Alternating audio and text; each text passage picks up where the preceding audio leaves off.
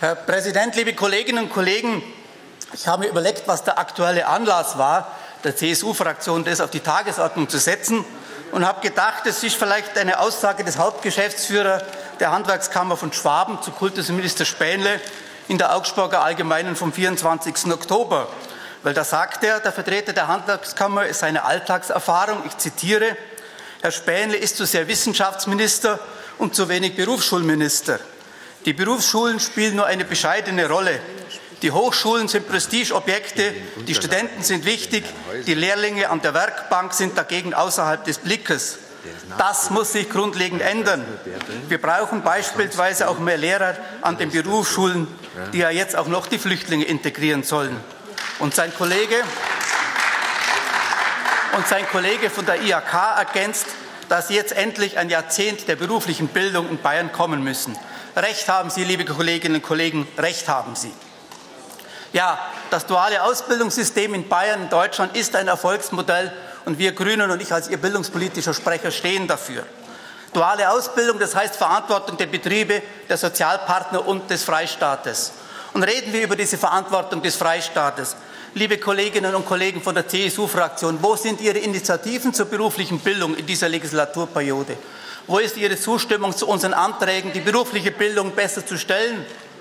Und Liebe Kolleginnen und Kollegen, die Berufsschulen sind unterfinanziert seit Jahren. Seit Jahren haben sie zu Beginn des Schuljahres nicht die 100 Prozent an Grundausstattung, die sie brauchen, um ihren Pflichtunterricht zu erfüllen. 92, 93 Prozent Ausstattung der beruflichen Schulen. Und das sollen sie ihre Aufgaben leisten. Da sollen sie zusätzliche Aufgaben leisten. Und deswegen haben wir im Nachtrag beantragt, die beruflichen Schulen besser zu unterstützen. Und sie hätten diesem Antrag besser zugestimmt. Und reden wir von dieser gleichen Augenhöhe von akademischer und beruflicher Bildung. Die geht schon im Schulsystem los. Sie haben ja immer noch die Vorstellung, die Mittelschule ist die Schule für die praktisch Begabten, die in die duale Ausbildung gehen und die anderen die gehen aufs Gymnasium, machen die akademische Ausbildung und werden Studierende. Das ist bei einer Situation, wo wir 40 Prozent Gymnasiasten haben und 30 Prozent Mittelschüler absurd und wird auch der Situation in der beruflichen Bildung nicht klar. Handwerker sind Handwerker, aber sie sind vor allem auch Kopfarbeiter. Sie brauchen kognitive Kompetenz. Ganz egal, ob Schreiner, Maurer, Metzgerin oder Schneiderin. Sie brauchen Problemlösungskompetenz. Und deswegen ist Aufgabe, Vorbereitung für die berufliche Bildung Aufgabe aller Schularten. Und wenn Sie es, und wenn Sie es als Erfolg verkaufen, dass alle Schulen zur Hochschule führen, dann bitte auch, dass alle Schulen zur dualen Ausbildung führen und nicht nur als Scheitern einer gymnasialen Karriere, sondern als Erfolg einer gymnasialen Karriere.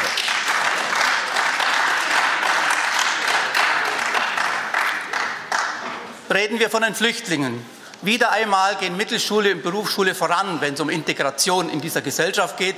Realschule und Gymnasium hinken hinterher.